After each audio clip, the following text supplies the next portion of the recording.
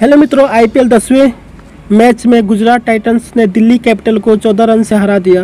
पुणे के Maharashtra cricket stadium में खेले गए मैच में पहले बल्लेबाजी करते हुए गुजरात ने 20 ओवर में 6 विकेट पर एक सौ इकहत्तर रन का स्कोर बनाया। सुबन गिल ने 46 गेंदों पर चौरासी रन की पारी खेली।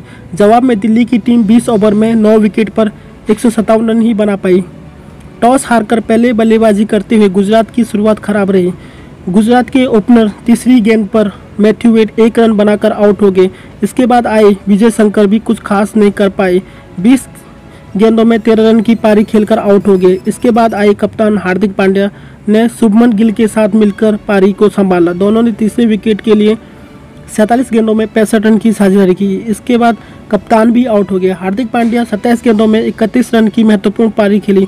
शुभमन गिल ने बेहतरीन पारी खेली उन्होंने।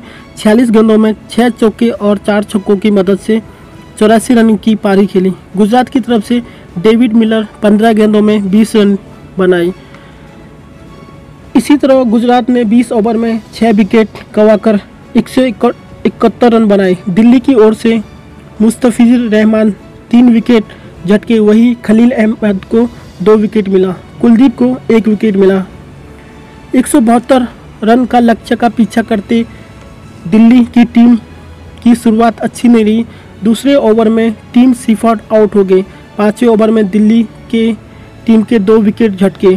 उसी ओवर में पृथ्वी शॉ और मनदीप सिंह आउट हो गए। इसके बाद ललित यादव और कप्तान ऋषभ पंत ने दिल्ली की पारी को संभाली। दोनों ने चौथे विकेट के लिए इकतालीस गेंदों में इकसठ रन की साझेदारी की। ललित यादव ने 22 गेंदों में 25 रन बनाए। उसके बाद ललित यादव रन आउट हो गए। दिल्ली की पारी में 15 ओवर में कप्तान ऋषभ पंत और अक्षय पटेल आउट हो गए। वही कप्तान 29 गेंदों में 43 रन बनाए। इसके बाद